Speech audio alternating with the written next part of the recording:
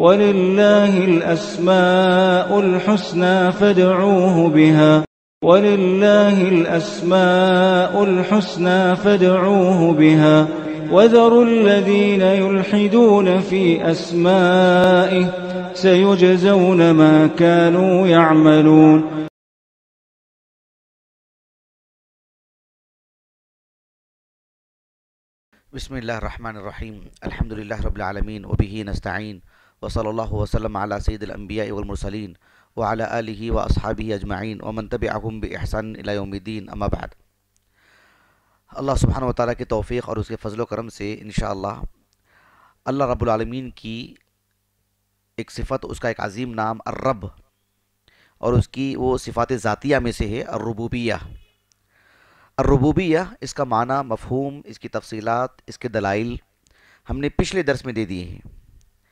आज के दर्स में जिस अहम बात पर गुफ्तु होगी, जो अहम बात मुझे समझाना है, वो ये कि अल्लाह सुबहान व ताली हमारा रब है।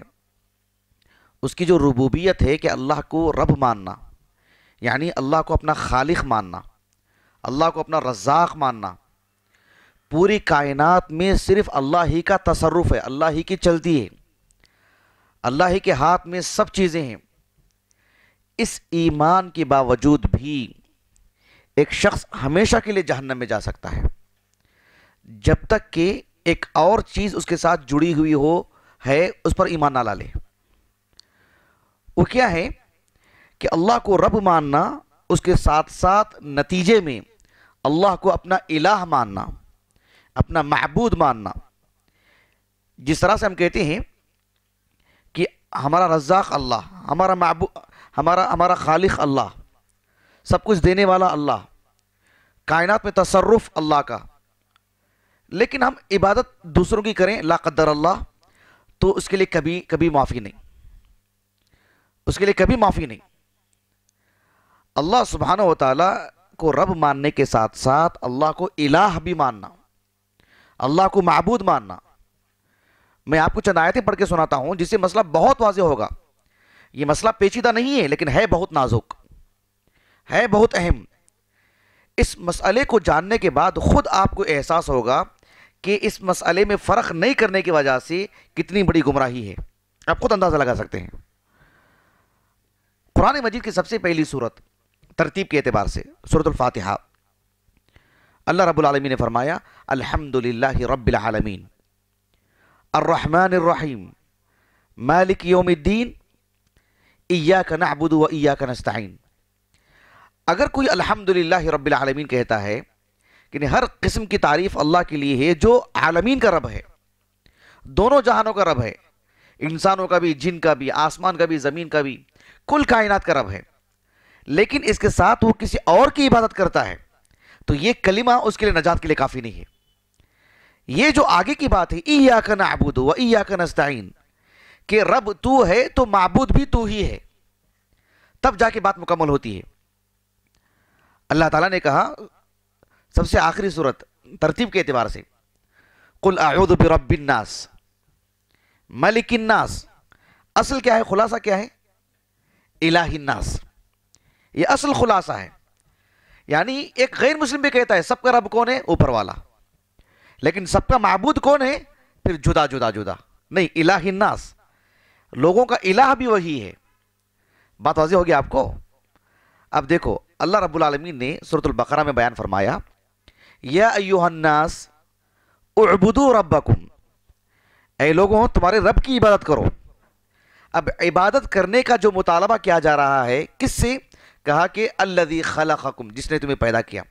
यानी अगर कोई कहता है कि तुमको किसने पैदा किया, वो कहता है कि ऊपर वाला, भले ही ऊपर वाले का तारुफ नहीं है।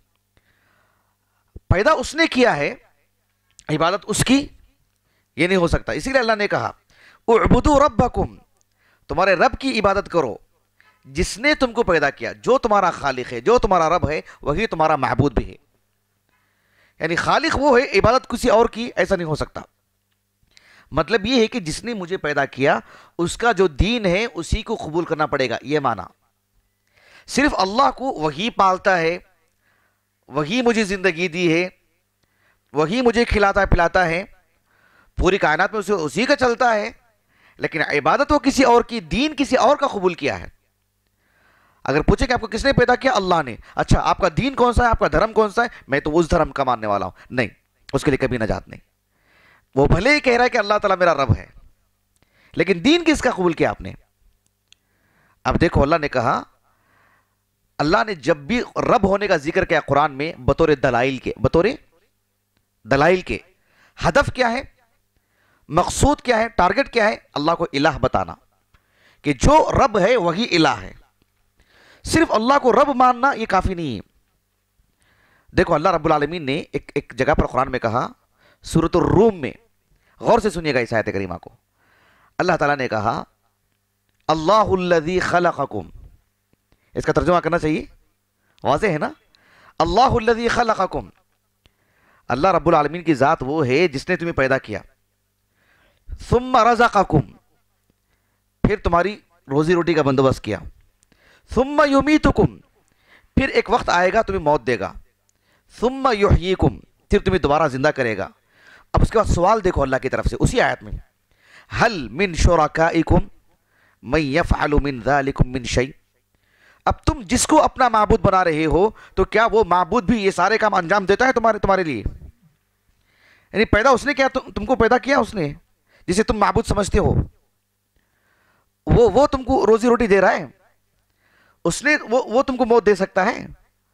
वो तुमको दोबारा ज़िंदा करेगा। नहीं ना अल्लाह खलाकुम तो फिर, हल मिन शुराकुम मैं यफ़अलु मिन ज़ालिकुम मिन शै जिसको तुम अल्लाह की इबादत में दूसरों को शरीक कर रहे हो, क्या वो भी यही काम अंजाम देते हैं? हैं? तो फिर आप उनकी इबादत कीजिए। नहीं तो फिर जो ये काम कर रहा है, उसी की इबादत होनी चाहिए। उसी का दिन कबूल करना चाहिए सीधे साधे अंदाज में। ये तो बिल्कुल वैसे ही शख्स है, बदतरीन किस्म का, जो कहता है कि आपको नौ माह कौन पेट में रखी थी? यह औरत। आपको जन्म किसने दी? किसने तकलीफ़ उठाई? कहा कि यह औरत। आपको दूध किसने पिलाई? कहा कि यह औरत। आपको कौन बचपन में जो संभाली? कहा कि यह औरत। तुम्हारी माँ कौन है? ये। ये बिल्कुल वैसी इंसान है ये। दुनिया का कौन इंसान माफ़ करेगा इसको? कितना भी बड़ा मुजरिम रख ले, कौन माफ़ करेगा इस बात को? और रब्बुल आलमीन, जिसने तुम्हारी माँ को इतनी कुवत दी कि वो अपने पेट में रख सके। तुम्हारी माँ के पेट में भी पाला उसने। और जब तुम्हारी माँ ने तुम्हें जन्म दी तो इतनी कुवत दी उसको, इतनी हिम्मत दी उसको, और उसके बाद तुम, उसकी माँ, तुम्हारी माँ में रहम डाला अल्लाह ताला ने कि तुम्हें संभाल के लेके जाए, तुम्हें बचा सके, संभाल सके। तो वो अरहमराहमीन और तुम कहते कि वो मेरा माबूद नहीं है, माबूद ये है मेरा। उसका दिन मैं नहीं कबूल करूँगा, वो मेरा दिन है। कितना गया गुजरा इंसान है वो? उलाए कहूँ शर्रुल बरिया। बदतरीन मखलूक कहा अल्लाह ने इनके बारे में। अल्लाह रबुल आलमीन ने सूरतुल सूरतुल लुकमान में अल्लाह ने कहा कि, वाला इन सलता हूँ अल्लाह के रसूल, आप इनसे पूछो, मन खलकसमावाती वाला अर्ज़? आसमानों को, ज़मीन को किसने पैदा किया? अल्लाह ने कहा कि लयकूल्लाह लयकूल्लाह वो ज़रूर कहेंगे ये अरबी ज़ुबान में बहुत बहुत बहुत ही ताकीदी जुमला ये। मतलब एक ही जवाब देंगे वो कि अल्लाह। ये किसके बारे में आयत नाजिल मालूम है आपको? किसके बारे में? हम हम यही समझते हैं कि अल्लाह के रसूल ने अबू जहल से जाके सामने पढ़ा होगा। क्यों? मैं और आप जाके बाहर नहीं पढ़ सकते। तजर्बा कर लीजिए ना पूछ लीजिए अभी जाने जा, जाते जाते। वरना एक कहानी हो जाएगी। किसी जमाने में रसूलुल्लाह ने अबू जहल से पूछा था। आप अभी भी किसी को व्हाट्सएप से ताल्लुक है, किसी गैर मुस्लिम से पूछिए, किसने पैदा किया ज़मीन आसमान को? क्या जवाब आता है उसको बताओ। वो यही बोलेगा, मेरे घर में एक बना के रखा हूँ उसने।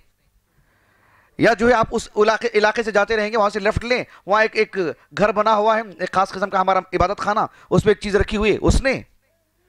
हर किसी नहीं यही जवाब होगा, यही जवाब होगा अल्लाह। ये अल्लाह की तरफ़ से बात है। इसके अलावा जवाब वो दे ही नहीं सकते क्योंकि कुरान की बात है ये। कुरान में उनका ये जवाब, इस बात की दलील है कि दूसरा जवाब नहीं होगा उनका। लेकिन अल्लाह ने फ़ौरन क्या कहा? कुल अल्हम्दुलिल्लाह। अल्लाह के रसूल, आप कह दे कि तमाम तारीफें अल्लाह ही के लिए हैं, लेकिन बल अक्सर लामून यानी इनके जवाब पर इनको थपकी दी गई, शाबाशी दी गई, इनाम दिया गया, बल्कि कहा गया कि लामून नादान लोग हैं, जानते ही नहीं। यानी अल्लाह को अपना खालिक मानते हुए इबादत देखो किसकी कर रहे हैं। अल्लाह को अपना रब मानते हुए देखो दीन किसका कबूल करके रखा है इन्होंने। यानी इस पर इनको तमगा पहनाना चाहिए था ना। इनको तारीफी कलिमात देने चाहिए थे ना इनके हक में। अल्लाह ने कहा, वाला इन सालतहुम मन अनजला मिनस समा मन नज़ला मिनस समा। इमान फअहया बिहिल अर्द बाद मौतिहा। अल्लाह रब्बुल आलमीन ने कहा कि आप इनसे पूछो कि आसमान से कौन बारिश नजिल करता है? और इस बारिश के पानी से मुर्दा ज़मीन को कौन ज़िंदा करता है? वो यही कहेंगे कि अल्लाह अल्लाह ने कहा कि बल अक्सर लाकिलून इनमें से अक्सर लोगों को अकल अकल, का इस्तेमाल नहीं आता है। इतने नादान लोग हैं। यानी इनके ताकीदी तौर पर कहने से कि अल्लाह ही है जो आसमान से बारिश नाजिल करता है। अल्लाह ने नतीजे में कहा कि ला याकिलून। ला यालमून। ऐसे कहा अल्लाह रब्बुल आलमीन ने। अल्लाह अकबर। गौर कीजिए आप। तो बात यह है कि ज़मीन अल्लाह को खालिक मानना अल्लाह को रब मानना ये नजात के लिए काफ़ी नहीं है। बल्कि अल्लाह को इलाह मानना, मबूद मानना, ये चीज़ फैसला करती है कि कौन जन्नती है, कौन जहन्नमी है। रब मानने पे नहीं। वरना वसल्लम मक्के में आए, नबी बनकर के पहले ही दिन कहते कि, ला रब्बा इल्लल्लाह पूरा मक्का आपके साथ होता।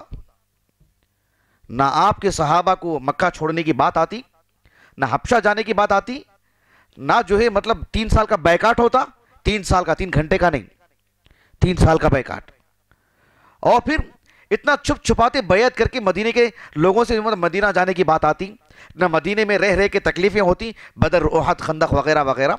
पहले दिन पहले दिन पूरा मक्का आपके हाथ पे बैत कर लेता, अगर होते कि ला रब्बा इल्लल्लाह। समझ रहे इस बात को? कुफार जो थे ना, मक्के के कुफार, उन्होंने इस बारीकी को जान लिए थे। जब अल्लाह के रसूल ने कहा कि ला इलाहा इल्लल्लाह कहो, ला रब्बा इल्लल्लाह नहीं। अल्लाह के सिवा कोई रब नहीं तो सब बोलते कि हाँ इस पर हमारा ईमान है। कहा कि ला इलाहा इलाह का मतलब यह होता है कि अल्लाह के दीन को कबूल कर लें, अल्लाह को की इबादत करें। देखिए, पहले दिन मक्के के कुफार ने उनकी मादरी ज़ुबान, अरबी ज़ुबान थी, इस गहराई को समझ गए थे वो। सुर सात पढ़ के देखो आप आगाज़ में, अल्लाह ताला ने कहा, वाजिबू अनजामिन फ़काल काफिर हादा साहिर कज़ाब इन लोगों को ताजुब हुआ कि अल्लाह ताला रसूल हम से बनाया है क्या? हम से वो इनको लिए ताजुब की बात थी। अल्लाह के रसूल को साहिर कहा कज़ाब कहा। उसके बाद देखिए, मेरे मौजू से मुतालिक जो बात। है कहा कि अजा इलाहन वाहिदा। इतने सारे मबूद, यानी उस कबीले का वो मबूद, उस कबीले का वो मबूद, रब रब तो एक है, कौन अल्लाह? मालूम है, वो तो हमको देते नहीं, ये हमको हम उनको देते हैं। जिनको हम मबूद समझते हैं, हमने बनाया है उनको, हमने खड़ा किया है उनको। कब टूट के नीचे गिरेंगे नहीं मालूम। एक हवा के झोंके से जोरदार बारिश से या उन्हीं के टक्कर खाने से, पता नहीं कौन क्या गिर जाए। लेकिन रब्बुल आलमी ने फरमाया कि अजा अलता इलाहन वाहिदा। क्या माबूद एक होगा? रब एक होगा, लेकिन माबूद तो हमारे अलग अलग अलग हैं। दीन अलग अलग हैं, जैसे लोग बोलते ना, सब उसी कुछ मानते हैं, लेकिन अपने अपने तरीके से। गलत है ये, समझ रहे हैं आप? ऐसा नहीं होगा। यानी ये कहते हैं कि भाई अल्लाह ने सबको पैदा किया। यहाँ जज्बात में आके लोग बोलते ना मुसलमान में भी उसमें फ़र्क है क्या? दोनों के खून में फ़र्क है क्या? दोनों की चमड़ी में फ़र्क है क्या? दोनों के रहने में फ़र्क है क्या?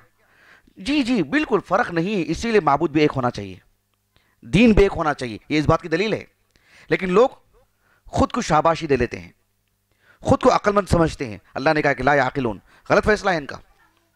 जब हम समझते हैं कि दोनों का खून एक है, मुसलमान में और मुकाबिल में कोई फ़र्क नहीं है तो फिर मबूद एक ही है ना हमारा? खालिक एक है माबूद दो कैसे? हो ही नहीं सकता है। खालिक एक तो वही माबूद हमारा। ये बात अच्छी अच्छी तरह समझ लेना चाहिए। इन लोगों ने कहा कि अज आलियाता इलाहन वाहिदा क्या माबूद एक होगा। ये ये बात हम कभी बर्दाश्त नहीं करेंगे, ऐसे कहा उन लोगों ने।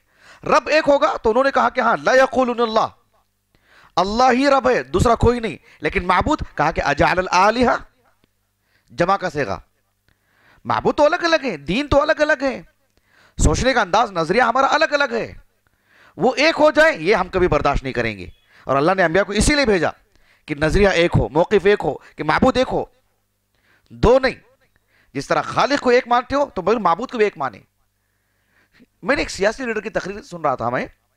वो कह रहे थे कि अल्लाह ताला ने आसमान मुसलमानों के लिए अलग अलग बनाया है और जो है, उनके मुकाबिल किसी और का उन्होंने नाम लेकर के कहा, उनके लिए अलग आसमान है क्या?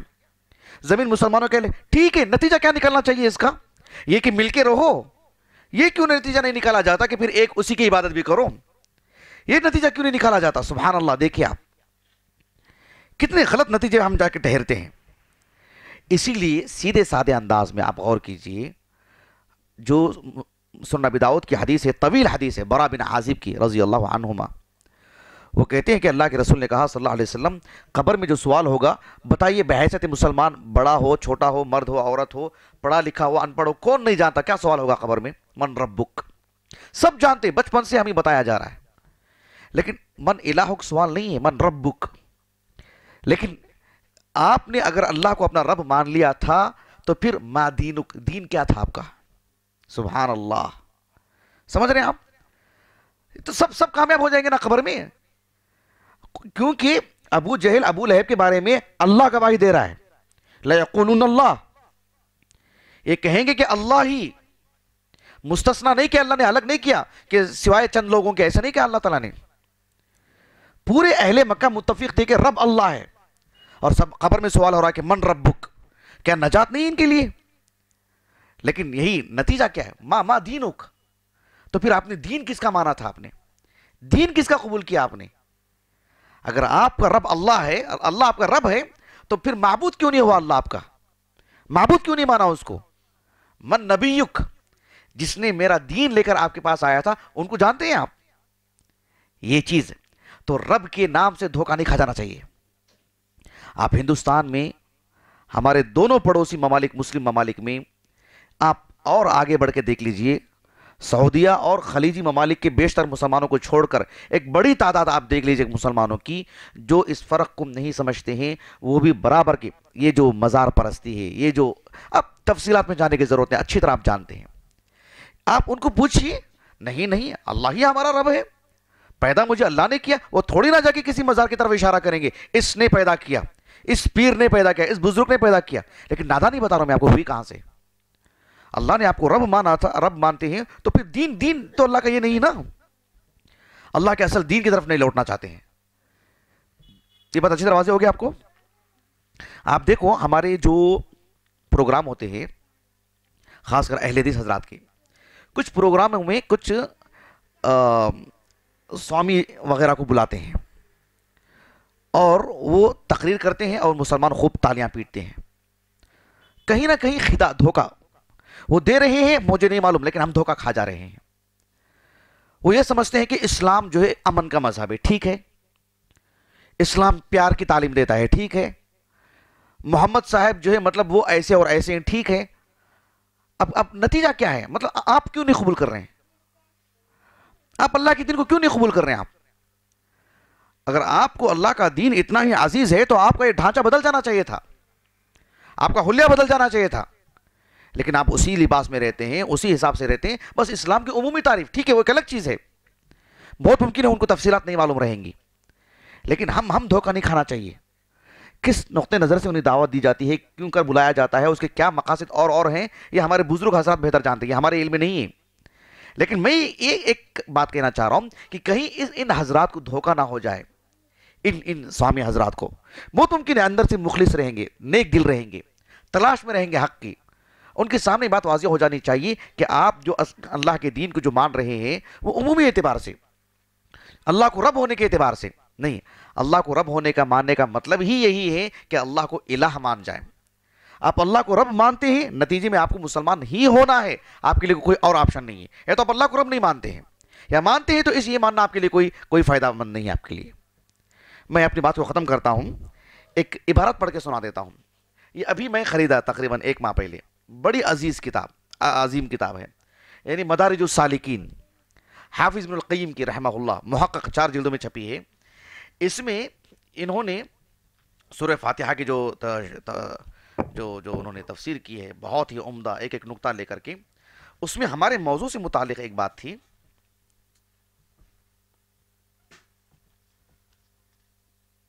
देखिए हाफिज़ रहमा कहते हैं कि अल्हम्दुलिल्लाह रब्बिल आलमीन अल्हम्दुलिल्लाह लिल्लाह अल्लाह और अर्रहमान रहीम मालिक यौमुद्दीन इन तीन नामों में मुनासबत देखे आपस में ताल्लुक देखे कैसे है? हम सूर्य फातिहा पढ़ते रहते हैं। व तमल इरतबात अलखलक़ी वलअमरी बिहादिल वही अल्लाह व रब व रहमान। कैफ़ नशा अनहा अलखल्क वल अमर वसवाब वल इक़ाब व कैफ़ जुमियात खल्क व कैफ़ जमात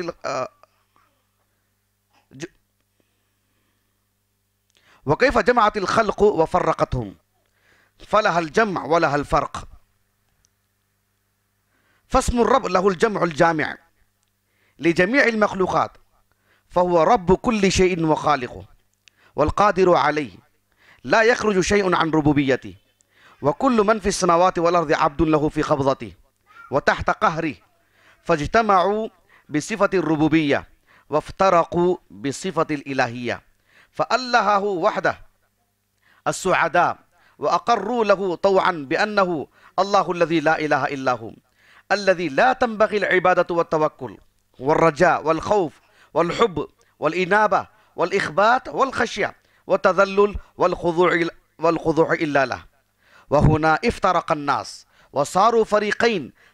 फ़रीक़ैन मुशरिकीन फ़िस सईर व फ़रीक़न मुवाहिदीन फ़िल जन्नह फ़ल इलाहिया हिय अल्लती फ़र्रक़तहुम, कमा अन्न रुबूबिया हिय अल्लती जमअतहुम अल्लाहु अकबर। इब्नुल क़य्यिम ने कहा, रहमहुल्लाह, अल्लाह रब्बुल आलमीन का नाम अर्रब पूरी दुनिया को जोड़ देता है। और अल्लाह रब्बुल आलमीन का नाम अल इलाह या अल्लाह, ये फिर दो हिस्सों में बांट देता है। एक मुशरिक हमेशा के लिए जहन्नम, एक मुवाहिद मुसलमान हमें, हमेशा के लिए जन्नत। यानी रब जिस तरह से दोनों को जोड़ देता है, मुसलमान भी कहते हैं, कौन आपका रब? अल्लाह। और मुकाबिल भी कह रहे हैं कौन आपका रब? अल्लाह। इलाह कौन है आपका? फिर दो हिस्सों में बढ़ जा रही है, पूरे मखलूक, पूरे इंसान। फरीक फिल जन्ना एक जन्नत में, एक जहन्नम में। नसलामा अब ये अच्छी तरह बात वाजी हुई आपको? जो यहाँ बैठे हुए हैं, सबको बात वाजी है? तो अल्लाह रब्बुल आलमीन का नाम अर्रब या उस पर अर्रबूबिया पर ईमान लाना काफ़ी है। नजात के लिए काफ़ी है, जहन्नम से बचने के लिए काफ़ी है, जन्नत में दखुल के लिए काफ़ी है, अल्लाह की रज़ा के लिए काफ़ी है, हरगिज़ भी नहीं। किसी तौर पर भी ये बात खुल के कहना चाहिए। ये बात हक है, इसको दबा के नहीं कहना चाहिए, दिल रखने के लिए नहीं कहना चाहिए, वरना हमारा भाई हमेशा के लिए जहन्नम में चला जाएगा। हमारा एक भाई हमेशा के लिए जहन्नम में चला जाएगा। अत नज़र उसका नाम क्या हो, जो भी हो हमेशा के लिए जहन्नम में चला जाएगा अगर अगर डबे लफ्ज़ों में बात करते हैं तो। इस मसले को वाजे करना चाहिए। आपका अल्लाह को रब मानना यह आपकी नजात के लिए काफ़ी नहीं है। हम देखते हैं आखिरी बात। बहुत सारे दुआत को। जाम दारुसलाम अमराबाद जनूबी हिंद का एक अजीम इदारा है। वहाँ दावा कोर्स भी चलता है। वहाँ के जो दुआत हैं, वो इससे मुस्तना है जो मैं कहने जा रहा हूँ। वो इल्म और बसीरत की रोशनी में करने वाले लोग हैं। लेकिन हमने बहुत सारे दुआत जो आम तौर पर हैं साहिब इल्म नहीं हैं। लेकिन एक दावत का एक एक एक, एक शौक़ है एक जज्बा है। मैं उनकी बात कर रहा हूँ। हमने उनको ये गलती करते हुए देखा कि लोगों को पूछते हैं आपको किसने पैदा किया? ऊपर वाले ने।